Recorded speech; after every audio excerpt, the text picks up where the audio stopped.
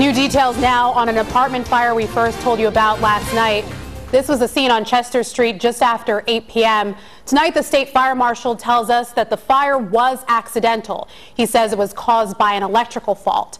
Now, none of the residents were hurt and everyone is back in their homes tonight, except for the residents on the first floor. They'll be allowed back in after some minor repairs.